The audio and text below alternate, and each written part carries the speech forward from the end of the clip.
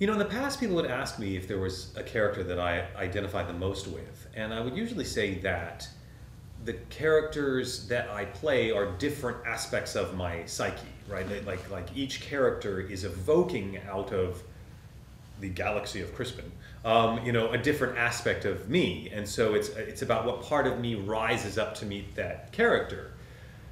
But recently, um, having worked on Overwatch. Uh, I have a special affinity for Winston that is uh, really close to my heart. Uh, people have asked sometimes in different panels, especially like Overwatch panels or game things.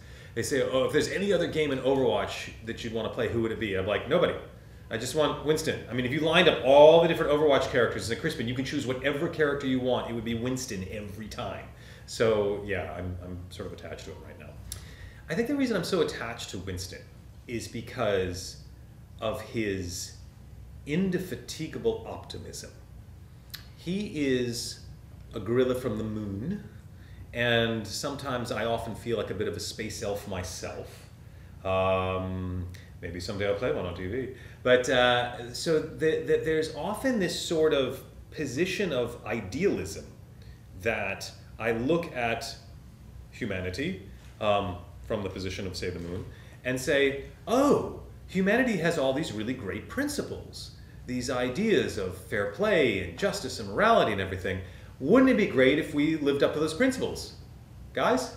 Guys? We're gonna, we're gonna live up to the principle? We're, we're not. We're, we're, we don't? Well, why not? And there's this sort of shock in my own psyche. I mean, I remember even as a little kid, like, like we, we don't live up to the better angels of our nature?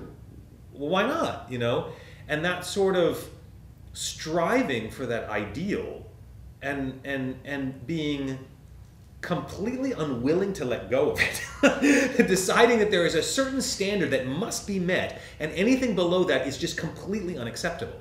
And so that I think is why I identify with Winston so much because that's where he lives. He just even if he has to be alone in his garage tinkering with his toys, he is not going to let this go. Like he just refuses to sort of throw in the towel on this. And, and, and that is very compelling to me.